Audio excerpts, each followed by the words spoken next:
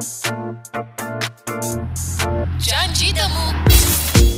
Okey, kita kembali semula waktu ini 17 minit tengah hari dan uh, kejap-kejap lagi kita akan dengarkan program uh, Dunia Pengguna bersama-sama Persatuan Pengguna Islam Malaysia. Mm-hmm. Namun pada waktu ini Ya, kita nak uh, tahu mengenai perkembangan ya. Ini mengenai insiden kanak-kanak yang dijadikan tebusan uh, di Tuaran dan untuk kita ketahui lebih lanjut kita bersama-sama dengan Pesuruhjaya Polis Sabah Datuk Omar Mamah di talian. Assalamualaikum Datuk. Waalaikumsalam. Baik, uh, Datuk mungkin boleh kongsikan tentang keadaan terkini uh, berkaitan dengan uh, insiden tersebut. Bagaimana situasi kanak-kanak itu?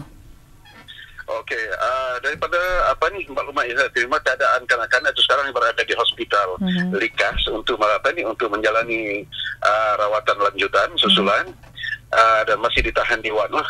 Okey. Dan kecederaan yang dialami oleh kanak-kanak ini ialah kecederaan di leher sebelah kiri lah, akibat apa ni dikelar oleh oleh suspek. Hmm. Tapi mengikut doktor yang saya temu duga semalam memang tidak ada kecederaan serius tak melibatkan kecederaan di bahagian arteri arteri lah. Mhm. Ya, nah, jadi kanak-kanak ini dalam keadaan stabil dan semalam pun saya dapat bercakap dengan kanak-kanaknya. Jadi alhamdulillah kanak-kanak ini telah selamat.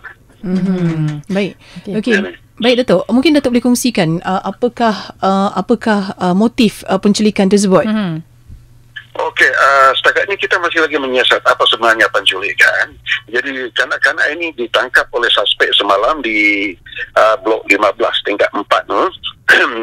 dan kanak-kanak ini sedang bermain dengan rakannya di apa ni di tingkat 4. Jadi suspek ini telah tangkap budak ini yang secara mungkin secara dia bawa masuk ke dalam satu flat yang berhampiran dengan tempat kanak-kanak ini bermain. Mhm. Jadi um, masa itu orang awam yang tinggal di sekitar uh, apa ni uh, blok tersebut telah coba berunding dengan suspek untuk melepaskan apa ni kanak-kanak ni tapi suspek insist untuk berjumpa dengan satu penama yang dikenali sebagai Rashid dan orang awam yang tinggal di sana pun tak tahu siapa Rashidnya sebenarnya lah Mhm. ya dan, dan sehinggalah polis eh, datang suspek ni masih lagi apa ni uh, menahan kanak-kanak ni lah dan pada masa yang sama meletakkan pisau kerambit di leher kanak-kanak ini menyebabkan leher kanak-kanak ni luka.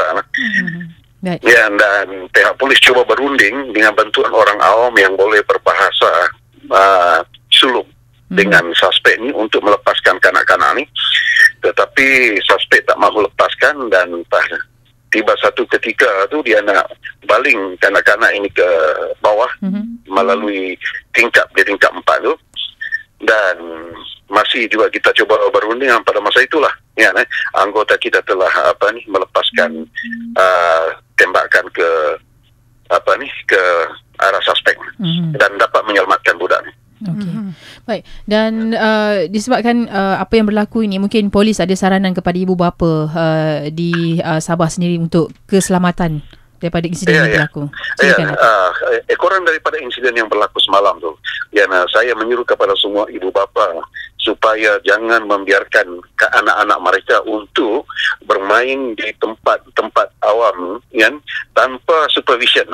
Ya, kerana ini um, membahayakan kanak-kanak itu sendiri, terutama uh, kanak-kanak semalam ber- berumur apa ni lingkungan 3 hingga 3 hingga 4 tahun. Hmm.